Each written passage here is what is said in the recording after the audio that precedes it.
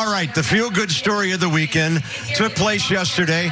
We had a chance to interview him before the game, not knowing he was going to pitch. And finally, Aaron Barrett got into a game FP. And after the first walk, he managed to get things back together. Yeah, I think it's the most nervous I've been calling a Nats game when he walked on the mound. Maybe excited, nervous, whatever you want to say. Then all of a sudden, he got the pop up out with Julio Teheran. He struck out Ronald Acuna Jr., got Ozzie Albies to fly out. And it was like, hey, it's baseball again. I'm not a rookie. I've been here. I've done this before. The, the four years of work to get back here, and it all kind of hit him at once in the dugout. Just one of the feel-good stories of the season. And sometimes there's things that are bigger than baseball. And last night, Aaron Barrett's comeback was way bigger than any pennant race. I loved it when Yan Gomes met him at the third baseline into the dugout together.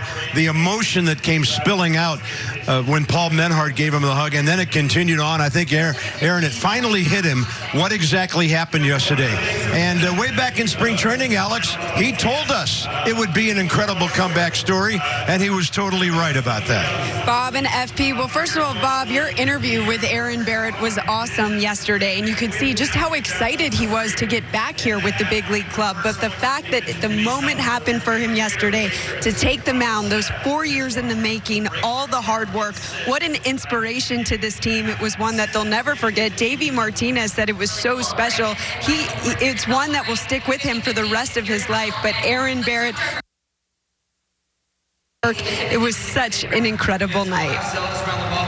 Obviously, uh, emotional. Um, but you just got to try to find a way to kind of hone it in and realize that it's, you know it's just a game and you got to go out there and make pitches. And I think after uh, after that first guy, kind of got the jitters out a little bit, and um, you know it's time to go to work and, and get guys out. You dream about the moment, you picture the moment, you try to visualize what it's going to be like, and you know whatever moment or whatever happens, it's unlike anything that you you vision. Um, and so after the outing was over, I'm just walking off, and I'm just, you know, all the emotions just hit me. Just, you know, you, you did it, man. You did it, and uh, it was just a cool moment to share with my teammates, and obviously the amount of support that I've had uh, from this organization um, and all these guys in this clubhouse.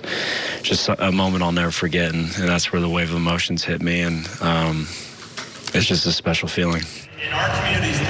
Barrett is from just about six minutes away here from SunTrust Park. All of his family, they were in attendance last night. He had friends here. Actually, my husband was in the stands with some of our friends. They were sitting right behind the Barrett family, and they said there was nothing like it. Watching him when he took the mound, how his whole family, there were tears in everyone's eyes, just so much excitement, so much energy.